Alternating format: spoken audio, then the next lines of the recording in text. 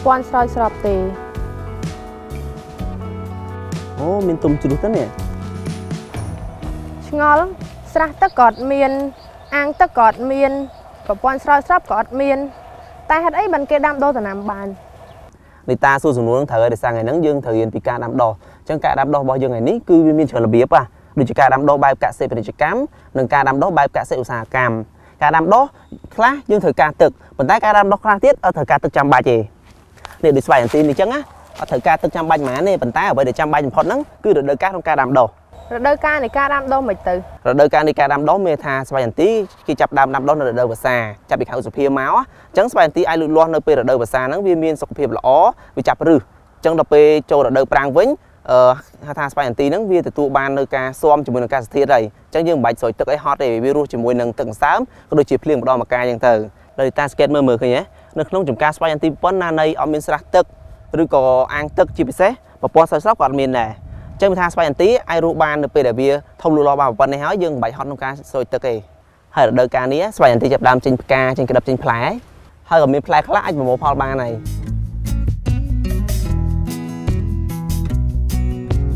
អញ្ចឹងបានន័យថាការដាំដុះដំណាំស្វាយចន្ទាចំណេញណា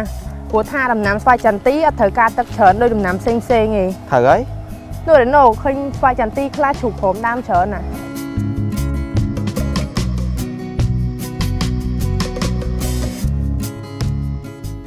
នេះមើលផ្លែក្រហមៗនេះផ្លែមុនគេមើលគ្រាប់វាធំធំហ្នឹងនេះតាជាពិសេសក្តឹបក្តឹបនេះវិញចាប់ផ្ដើមធំបន្តបន្ទាប់ទៀតហើយហើយដំណាំស្វាយអន្ទីនេះគឺជាដំណាំដែលងាយស្រួលប្រមូលផលជាងគេមានស្រួលប្រមូលផលមិនទៅហឹមចុះនៅពេលវាទុំជ្រុះមកក្រុមដើមមកយើងដើរប្រមូលទៅមានពិបាក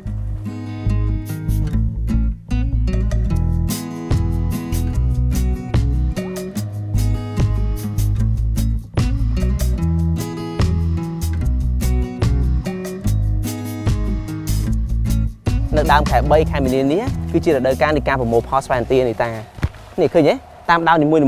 មានផ្កាមានក្តឹបមានផ្លែហើយផ្លែខ្លះទុំទៀតអញ្ចឹងថ្ងៃនេះយើងសិក្សាពីដំណាំស្វាយអន្ទាហើយយើងប្រមូលផលទាំងអស់គ្នាចាចុះការដាំដុះមិនទៅចាឥឡូវនាំនីតាទៅមើលថ្នាដែលគេបដោះដំណាំស្វាយអន្ទាហ្មងណាដើម្បីឲ្យនីតាដឹងថាដំណាំស្វាយអន្ទាបានប៉ុណ្ណេះតើគេចាប់ផ្ដើមពីណាមកមុន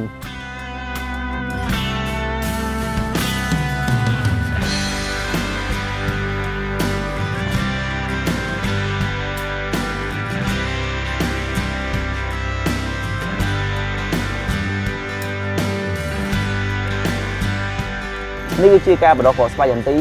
បដោះស្វាយចន្ទាស្រួលចឹងសោះណោះរណូគ្រាន់តែយកគ្រាប់មកបដោះដោះបាត់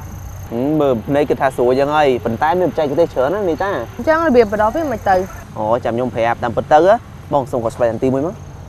នេះឃើញវាមានប្រឡូកទេអញ្ចឹងយើងតម្រាំបាននៅគ្រាប់ស្វែងអន្ទីមានប្រឡូកហ្នឹងដំបូងគឺយើងត្រូវយកគ្រាប់ស្វែងអន្ទីហ្នឹងទៅ5ថ្ងៃរយៈពេល3ថ្ងៃ3យប់ហើយអាយើងយកទៅត្រាំទឹករយៈពេល3ថ្ងៃ3យប់ទៀត នៅពេលដែលយើងហាវាហើយនឹងត្រាំទឹករយៈពេល3ថ្ងៃ3យប់ដូចគ្នានឹងហើយបន្ទាប់មកយើងយកវាទៅក្រាននៅលើស្បៃយើងគ្របចំបើងស្រោចទឹករយៈពេល3ថ្ងៃ3យប់ទៀតអញ្ចឹងនៅពេលដែលយើងធ្វើដំណាក់កាលទាំងអស់ហ្នឹងហើយបានយើងយកវាដាក់តាមកន្ទូននីមួយៗនេះហើយយើងកប់ដីកប់ដីហើយយើងដាក់ចំបើងពីលើស្រោចទឹកទៀតនេះឃើញវាចេញប្រឡូកទេមានដំណាក់កាលបដោះច្រើនរបៀបណោះខ្ញុំស្មានតែយកតែគ្រាប់មកដាក់ក្នុងកន្ទោងហើយបដោះហ្មងហ្នឹងហើយមិនមែនចេះយកគ្រាប់មកដាក់បដោះបានភ្លាមទេយើងមានដំណាក់កាលត្រូវត្រូវហាផងត្រូវត្រាំទឹកផងបានវាខ្លះជាអឺ គ្រាប់ស្វែងអន្ទីដែលមានប្រឡូកបានយកដាក់តាមកន្ទូននីមួយៗឥឡូវនេះគាត់ចាប់ផ្ដើមកប់ចឹងហើយទីទៀតគាត់យកចំបើងមកគ្របហើយស្រោចទឹករយៈពេលមួយអាទិត្យគឺចាប់ផ្ដើមដុះហើយ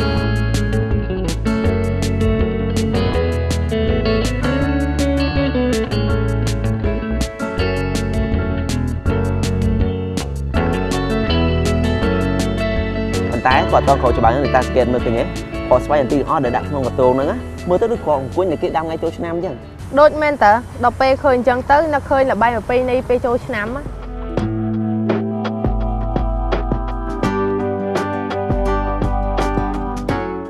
នេះគឺជាវិធីបដោះគ្រាប់ស្វាយចន្ទីមុនយើងត្រូវគ្របវាយើងត្រូវយកចំបើងហ្នឹងណាស្រោចទឹកឲ្យតែទឹកតិចសិនបានយើងយកមកគ្របលើកន្ទោងទាំងអស់ហ្នឹងទីតាដឹងតើនៅពេលយើងគ្របចំបើងយើងផ្ដល់ថាប្រយោជន៍អីខ្លះ ដឹងតើដើម្បីឲ្យគ្រាប់ពូជយើងត្រជាក់ហើយមានសំណើមបានយូរចុះដល់ពេលយើងគ្របហើយត្រូវស្រោចទឹកភ្លាមហ៎ហ្នឹងហើយគ្របហើយត្រូវទៅស្រោចទឹកភ្លាមអញ្ចឹងហើយហើយដល់ពេលគ្របអញ្ចឹងទៅរយៈពេលប៉ុន្មានបានវាដោះរណូភ្លេចបាត់ហើយយើងត្រូវស្រោចទឹករយៈពេលមួយអាទិត្យវាចាប់ផ្ដើមដោះហើយយើងបដោះគ្រាប់យើងដាក់ក្នុងកតងគ្រាប់ចំបើងស្រោចទឹកមួយអាទិត្យដោះចុះយើងត្រូវមួយថ្ងៃស្រោចប៉ុន្មានដងអូមួយថ្ងៃស្រោចទៅម្ដងនេះតាដោយសារយើងគ្រូច្បើងយើងវាជាបានយូរណា ប៉ុន្តែបើខែភាសាវិញមិនបាច់ស្រោចទេដោយសារមានភ្លៀងធ្លាក់អីអញ្ចឹងបើសិនជាបដោះគ្រាប់ស្វាយចន្ទីឬដំណាំផ្សេងផ្សេងៗអីនៅរដូវវស្សាមិនបាច់ចាំស្រោចទឹកទេណោះ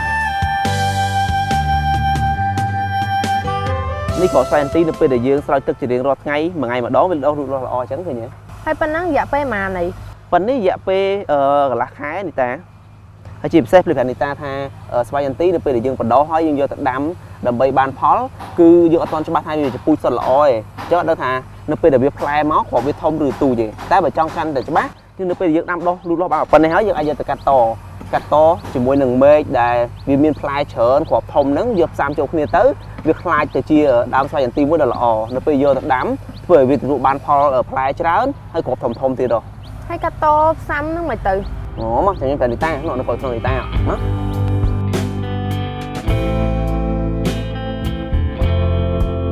នេះគឺជាសួនបដោះកូនស្វ័យអន្ទីហើយស្វ័យអន្ទីទាំងអស់នេះគឺគេបានផ្សំនិងកាត់តរួចរាល់អស់ហើយអញ្ចឹងស្វ័យអន្ទីប៉ុណ្ប៉ុណ្ណេះគេតែយកទៅដាំបានហើយអញ្ចឹងមានន័យថាការបដោះស្វាយចន្ទីមានបច្ចេកទេសច្រើនណាស់ណោះត្រូវនីតាប៉ុន្តែបើសិនជានីតាអត់ចង់ពិបាកទេបាច់ហត់ក្នុងការបដោះគ្រាប់ក៏ដូចជាផ្សំហើយយកទៅកាត់តទៀតអញ្ចឹងនីតាអាចទិញ lại គាត់បានដោយសារតែកូនស្វ័យអន្ទីរបស់គាត់គឺគាត់បានសម្រាំងយកពូជល្អៗរួចរាល់អស់ហើយ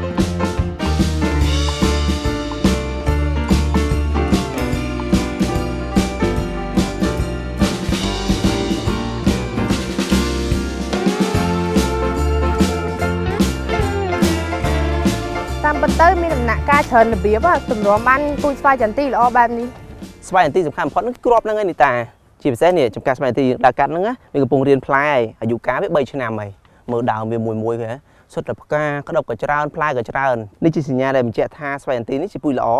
អញ្ចឹងមានន័យថាស្វាយចន្ទីនេះកំពុងរៀនផ្លែហ៎ស្វាយចន្ទីនេះមានអាយុ3ឆ្នាំហើយវាជីងផ្កាជីងក្តឹបជីងផ្លែអាចប្រមូលផលបានទេណោះហ្នឹងហើយវាអាចប្រមូលផលបានដែរ ចន្ទីនឹងដើមអញ្ចឹងមើលមួយផ្លែតស្មានតែជាពូដើមស្វ័យអន្ទីដែលល្អគឺដើមស្វ័យអន្ទីដែលមានផ្លែច្រើនហើយនឹងគ្រាប់ធំធំចែនេះតាឃើញទេនេះព្រោះគេយកគ្រាប់ធំធំចែគេមិនយកសាច់នេះទេគេយកគ្រាប់នេះតា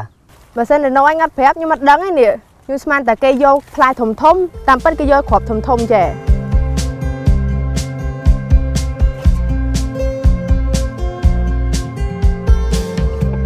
ស្វ័យអន្ទីអាយុកាល3ឆ្នាំវាចាប់ផ្ដើមឲ្យផលហើយដែលយើងអាចប្រមូលផលបានហើយណានោះ ហើយដើរមកមុខវិញធំធំមកឃើញទេចំការស្វាយចន្ទីខាងនេះដើមធំធំអាហ្នឹងហើយដើមធំធំទាំងអស់ហ្នឹងអាយុកាលក្រោម10ឆ្នាំទេនីតានិយាយចឹងចង់ប្រាប់នីតារឿងមួយតាក់ទងជាមួយនឹងរឿងជីវិតនឹងធម្មជាតិណាជីវិតនឹងធម្មជាតិមិនអូកសិករដែលគាត់ដាំដុះដំណាំស្វាយអន្ទីហ្នឹងគាត់បានដំណើរប្រាប់ខ្ញុំថានៅពេលដែលរដូវប្រមូលផលស្វាយអន្ទីមកដល់មានថាអឺ ឱកាសបនចូលឆ្នាំខ្មែរហ្នឹងគឺមកដល់ដូចគ្នាអូមានរឿងចឹងផងណោះហ្នឹងហើយអញ្ចឹងនៅពេលដែលគាត់លក់ដំណាំស្វាយអន្ទីរបស់គាត់បានហើយគាត់សន្សំលុយដើម្បីទុកអបអរនៅក្នុងថ្ងៃឱកាសបនចូលឆ្នាំខ្មែរហ៎អញ្ចឹងខ្ញុំនឹងចងចាំទុកថាឲ្យតែរដូវប្រមូលផលស្វាយចន្ទីដឹងតែរដូវបនចូលឆ្នាំខ្មែរចិត្តមកដល់ហើយហ្នឹងហើយតែរណោខ្ញុំដូចឃើញផ្លែស្វាយចន្ទីពណ៌លឿងនៅខាងមុខហ៎អូខ្ញុំភ្លេចប្រាប់នីតាថាស្វាយអន្ទីមានផ្លែវាពីរពណ៌មានពណ៌ក្រហមហើយនិងពណ៌លឿង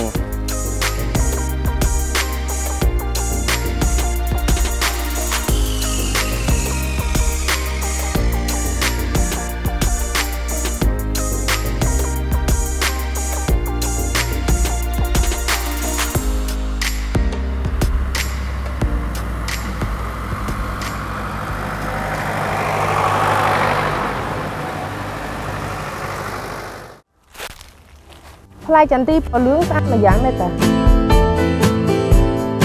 ដើមខាងនីតាឯងលឿងដើមខាងខ្ញុំវិញនេះក្រហមឃើញទេចុះបើសិនយើងចង់ដាំដើមចន្ទីខាងនេះពណ៌លឿងខាងនោះពណ៌ក្រហមធ្វើមិនទៅអូបើសិននីតាចង់បានមកជួពណ៌លឿងមកជួពណ៌ក្រហមហ្នឹងយើងអាចទៅកន្លែងបដោះកូនដំណាំអឺស្វាយអន្ទីនឹងបានយើងសួរគេទៅថាតើអឺស្វាយអន្ទីមួយណាដែលដុះមកផ្លែពណ៌លឿងតើមួយណាផ្លែពណ៌ក្រហមតែកំណត់នីតាជាកំណត់បែបសិល្បៈហ្មង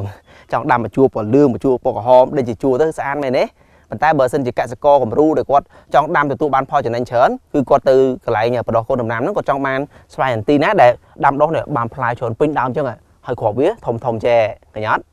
អញ្ចឹងមានន័យថាផ្លែស្វាយចន្ទីពណ៌ក្រហមពណ៌លឿងអត់សំខាន់ទេសំខាន់ឲ្យតែគ្រាប់ធំណរណូហ្នឹងហើយនីតាមកខាង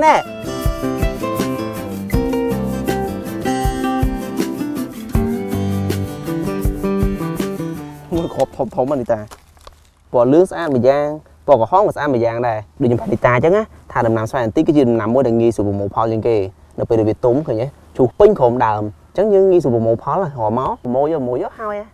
ហើយជ្រូកពេញក្រោមដើមចឹងហើយមិនគេអត់មករើសយកចឹងអូទៅទីទៀតគេមករើសយកអស់ហើយនីតានេះគេមកយកគេយកទៅអាក្បាលវានេះគេអត់យកផ្លែវាទេគេទៅគ្រាប់ហ្នឹងគេឃើញអត់គ្រាប់ធំធំអញ្ចឹងជាពូជល្អ មែនដែរណូផ្លែខាងណាតូចតូចមែនតែគ្រាប់ធំធំអាហ្នឹងហើយស្វាយចន្ទីនេះគឺជាស្វាយចន្ទីពូជល្អនីតាហើយសម្លឹងមើលមើលនៅក្រោមដើមសិតតែស្វាយចន្ទីទៅឈូសចាំមើលមួយម៉ោងនេះនីតាមកដឹងតែអស់ហលីងហ្មងសតតែសាច់ទេគ្រាប់វាមួយម៉ោងអស់ហើយហើយជាពិសេសរដូវប្រមូលផលចេះហ៎គេប្រមូលឲ្យអស់ហ្មងគេគ្មានទុកមកគ្រាប់ទេនេះសិតតែលុយជ្រូកពេញដីដែរនីតាឃើញអត់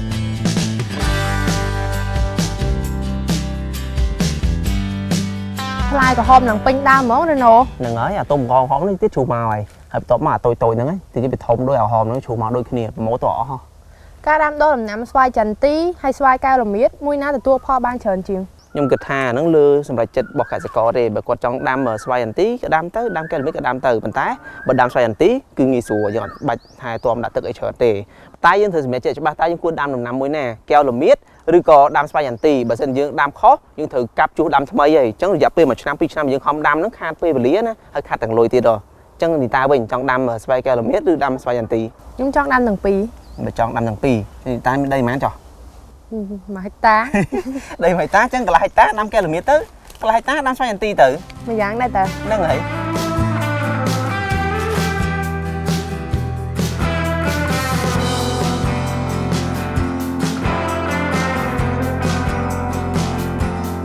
អូមើលផ្លែខ្លះមូមូដូចផ្លែប៉ោមអញ្ចឹងណោះ ឥឡូវយើងដើរលេងក្រុមម្លប់ដើមស្វាយចន្ទីសិនតិចទៀតចាំយើងជួយប្រមូលផលនៅម្ដាមម្ដាមផ្លែច្រើនណាស់នោះអូច្រើនអីប៉ុណ្ណឹងនេះតាចាំមើលចុងខែមីនាដើមខែមេសាយើងនេះនិយាយពីដើមមួយមួយសិតតែផ្លែចន្ទីឡើងពេញដើមហ្មងអូច្រើននេះណូយខាងនេះទុំជ្រូច្រើនណាហឹមរណូហើយណាកធោហើយស្រោមដៃហឹមមិននេះតា ចង់ប្រមូលអស់មួយចកាហ្នឹងហ្មងអីឃើញយើងមករៀនតាអាជូជូក្រោមក្រោមណាតិចទៀតបងបងគាត់មកយកហើយឥឡូវមិនបាច់មើលក្រោមក្រោមទេមើលទៅខាងលើនេះតាណោះផ្លែចន្ទីពណ៌លឿងខាងនោះដើមតូចតូចទេតែខាងនេះដើមឡើងធំធំតែរណូយើងសម្គាល់មកទៅថាពូជចន្ទីណាពណ៌លឿងពូជចន្ទីណាពណ៌ក្រហមអូខ្ញុំប្រាប់នេះតាតាបើយើងចង់ដាំដុះអត់សំខាន់ពូជលឿងពូជក្រហមទេតែបើនេះតាចង់បានពូជលឿងពូជក្រហមអានោះតើយើងជួបអ្នកជំនាញប៉ុន្តែអ្វីដែលសំខាន់នៅពេលដែលដាំដុះគេចង់បាននេះអាក្របនេះធំ តែនេះតាសង្កេតមើលមើលមើលផ្លែលឿងនេះផ្លែឡើងធំសាច់ឡើងច្រើនតែគ្រាប់វាទូចទូចទេដោយសារអីទៅអូដោយសារតែវាជាផ្លែដំបងអញ្ចឹងវាស្រូបជីបានច្រើនអញ្ចឹងទៅវាលេងខ្លួនណាវាមានសាច់ច្រើនហើយផ្លែឡើងច្រើនពេញដើមដែរតែគ្រាប់វាទូចទូចទេតែនេះតាចាំមើលអាក្រោយក្រោយនេះមើលអាក្តាប់នេះហើយអាផ្កាក្រោយក្រោយនេះនៅពេលវាធំលូតលាស់បានផ្លែប៉ុណ្ណេះណាគ្រាប់វាធំធំដូចតែគ្នាអញ្ចឹងអូខ្ញុំយល់ហើយរណូពូជស្វាយចន្ទីសំខាន់ទៅលើផ្លែច្រើនហើយគ្រាប់ធំអាសាច់ចេះគេអត់គិតទេនេះគេគិតតែគ្រាប់គ្រាប់នេះ ដើមខាងនេះផ្លែក្រហម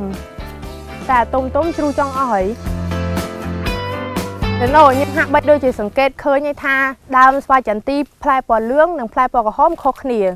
ផ្លែពណ៌លឿងដើមវាពណ៌រាងបៃតងស្រស់ហើយដើមស្វាយចន្ទីផ្លែពណ៌ក្រហមស្លឹកវាពណ៌បៃតងកម្ៅមែនតាស្វាយចន្ទីពណ៌លឿងណាមើលទៅស្លឹកវាពណ៌បៃតងស្រស់មែនតាតែនេះតែមិននៅតែរំលឹករឿងស្វាយចន្ទីពណ៌ក្រហមនិងពណ៌លឿងហ្នឹងខុសគ្នាមិនមិនប្រៀបធៀបរហូតអីមកពីខ្ញុំចង់ដាំបែបសិល្បៈហ្នឹងណា បើសិនជាខ្ញុំដាំមកជួរលឿងមកជួរក្រហមឬមកដើមលឿងមកដើមក្រហមពេលផ្លែមកស្រស់គ្នាស្អាតណាស់ណាពេលភ្ញៀវទេសចរមកលេងថតរូបក៏ស្អាតហើយពេលទៅវិញគេអាចទិញស្វាយចន្ទីយើងទៅផ្ទះទៀតអូយយើងគំនិតរបស់នីតាឯងហើយតែក៏ពិតទៅគំនិតរបស់នីតាហ្នឹងគឺជាការដាំដុះបែបកសិទេសចរនេះ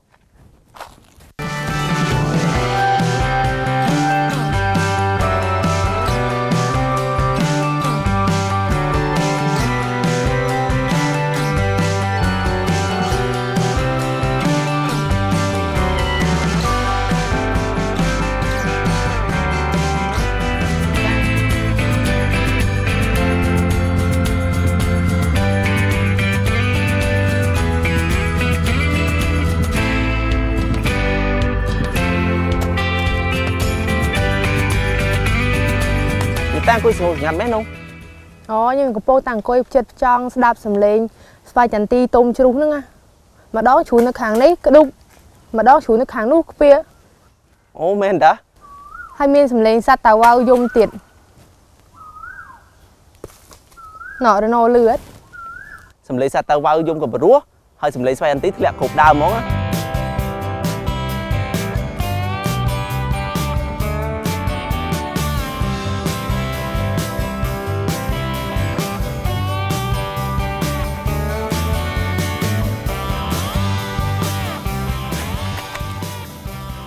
នីតាមកនេះមកនីតាមកទៅចកាមុខទៀតអផ្លែធំធំហ្នឹងណានេះដល់ពេលយើងសង្កេតមើលមិនដឹងណាឃើញទេផ្លែទូចទូចទេប៉ុន្តែគ្រាប់ឡើងធំធំនេះពូជល្អហើយកោបេគោចាមក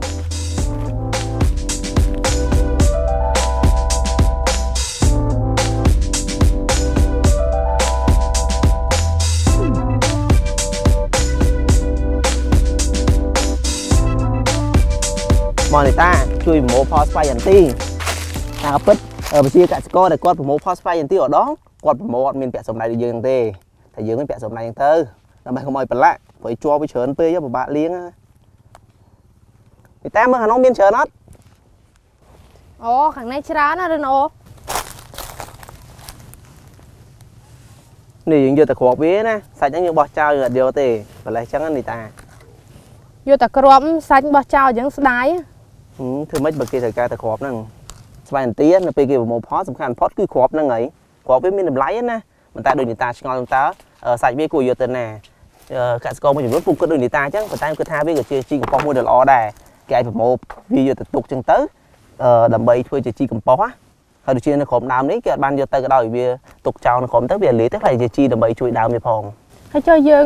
រើតាអាជ្រុះជ្រុះហ្នឹងឯងចានៅលើដើមអត់បេះហ៎ លើដើមហ្នឹងគេអត់បេះទេដោយសារគេអត់ប្រកាសណាអត់ដឹងថាវាអឺខ្ចីឬអាតុំទេបើយកចំខ្ចីទៅគ្រាន់វាអត់គុណភាពទេមិនមានតែយើងណារណូមកប្រមូលផលស្វាយចន្ទីនៅមានបងបងជាកសិករផ្សេងទៀតក៏មកប្រមូលដូចយើងដែរអូត្រូវហើយគូគាត់ធានាពីការងារគាត់មកប្រមូលផលស្វ័យអន្ទីហ្នឹងណាគិតមើលបងម្ចាស់ចការតែមួយគាត់ប្រមូលមិនអស់នេះតាតែបងបងដែលគាត់មកជួយប្រមូលផលហ្នឹងណាក្នុង1គីឡូគាត់ស្វ័យអន្ទីគឺគាត់បានកម្រៃអឺ400រៀលដែរហើយចុះ10គីឡូមិន4000 ហើយចុះមួយថ្ងៃគាត់ធានាធានាគាត់ធ្វើការងារគាត់ហើយគាត់មកជួយប្រមូលមក100គីឡូគិតមើលមែនមិន40000ចាតែលុយរហូតឲ្យយើងធានាកុំឲ្យខ្ជិលអាសាទៅបានលុយហ៎អូលោកខាងមុខទៀតតែណោះ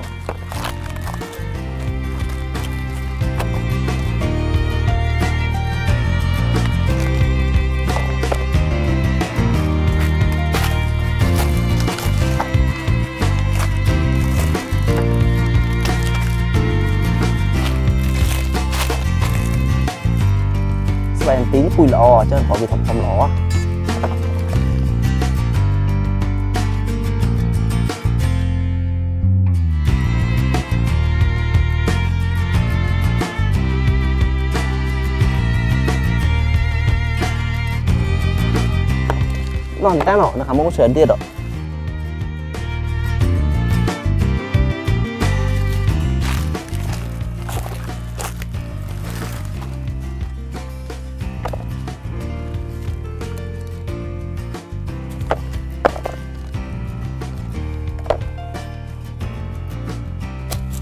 អនោះតែណោះនៅខាងមុខច្រើនទៀ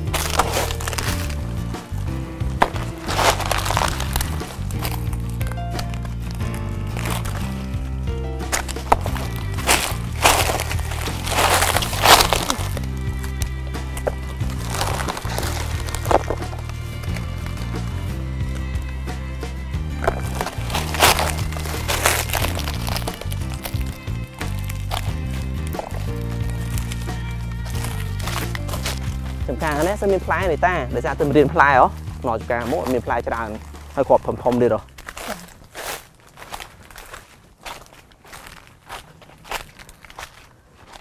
ខាងនេះផ្លែលឿងអូជ្រូកពេញក្រុមដើមមកនេះដូចខ្ញុំប្រាប់នេះតាអញ្ចឹងណាអត់សំខាន់ពណ៌ក្រហមពណ៌លឿងឯងសំខាន់ឲ្យតែគ្រាប់វាធំលក់បានថ្លៃ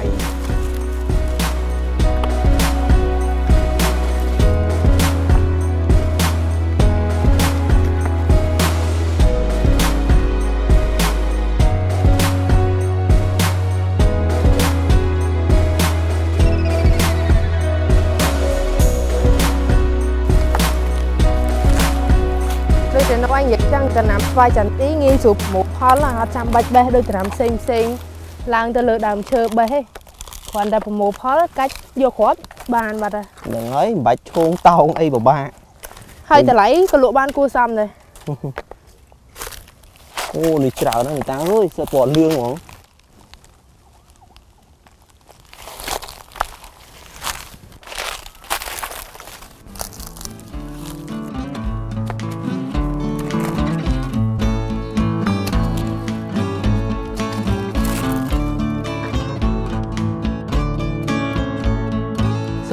ពេលដែលរដូវប្រមូលផលគឺយើងប្រមូលផលរាល់ថ្ងៃឃើញទេជូតតាមក្រុមដើមហ្មងច្រើនណាស់នេះតាអើយមករឿងហ្នឹងសិនណាជាពិសេសបើសិនជាយើងប្រើកម្លាំងយើងពីរនាក់មួយថ្ងៃរើបានពីអឺ50ទៅ100គីឡូអីហ៎មើលរើមួយផ្លែបានឡើងជិត10គីឡូហ្នឹងហ្នឹងហើយបើសិនមានចំការធំអញ្ចឹងណាដឹងប្រមូលលុយទៅណាអស់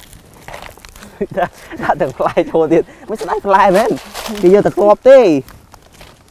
នេះនេះច្រើនណាស់នេះតើឡើងផ្ដុំគ្នាហ្មង5គ្រាប់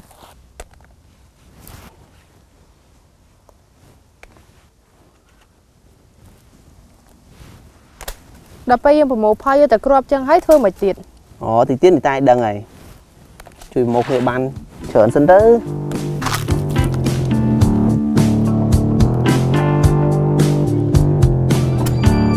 ជើយើងឲ្យផ្លែសាច់ទៅ10គីឡូឯណា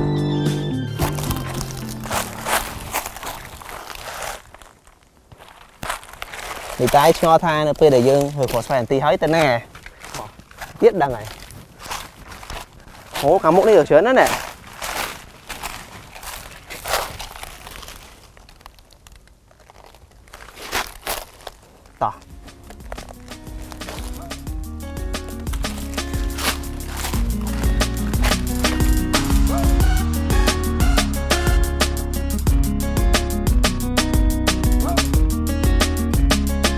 ចុះគ្រាប់ចន្ទីគេយកមកនេះធ្វើអីទៅនោះអូក៏ស្វ័យយន្ទីដែលគេប្រមូលតាមអឺក្រុមដើមស្វ័យយន្ទីក្នុងចំការហ្នឹងណាគេយកមកលាងដើម្បីឲ្យស្អាតដោយសារតែវាជាប់ជាមួយនឹងសាច់ស្វ័យយន្ទីហ្នឹងក៏ដូចជាជាប់ដីអីហ្នឹងគេលាងឲ្យស្អាតហើយគេយកទៅហាចា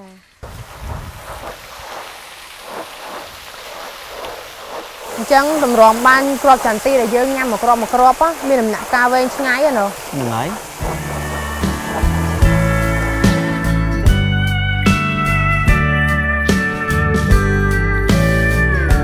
ក្រោយពីលាងសម្អាតហើយគេយកគ្រាប់ស្វ័យយន្ទីទាំងអស់ហ្នឹងចាក់នៅទីនេះ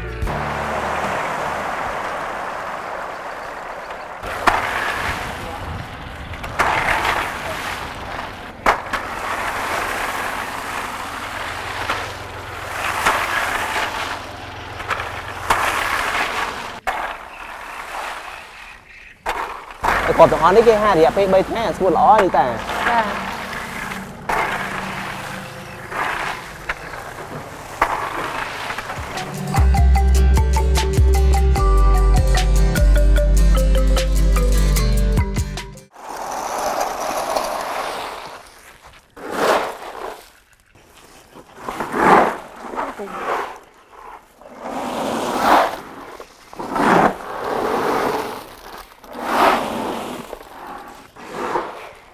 ខ្ញុំយល់ហើយក្រុមមេកម្ដៅថ្ងៃអញ្ចឹងណាថាតែ3ថ្ងៃស្ងួតហើយយកតែទុកក្នុងឃ្លាំងមែនទេពូចាតើបង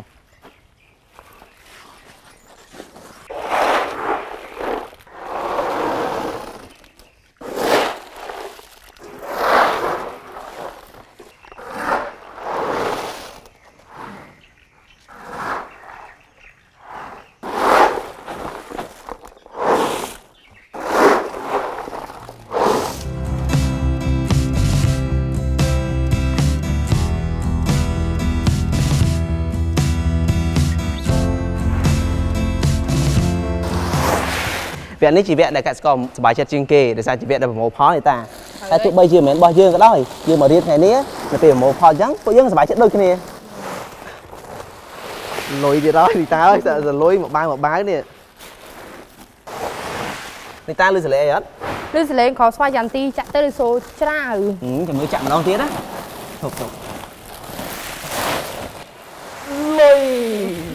ខ្ញុំលឺតែលុយអត់លឺច្រើននីតាអីសោះដោយសារស្វាយអន្ទាបើសិនជាបោះនីតាវិញមកគីឡូ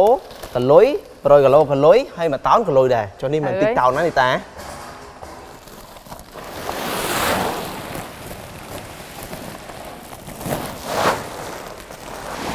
លុយហើយដំណាំស្វាយអន្ទីនេះគឺជាដំណាំប្រភេទកសិឧស្សាហកម្មណា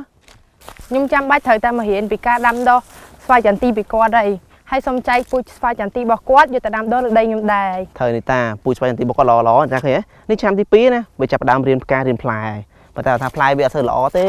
ផ្លែវាធំមែនប៉ុន្តែគ្រាប់វាទូចជាងផ្លែឃើញអត់ចាំមើលឆ្នាំទី3នេះតាអើយផ្លែវាល្មមមែនប៉ុន្តែគ្រាប់ធំធំហ្មងមកមានជ្រុះនៅដីទេហ្មង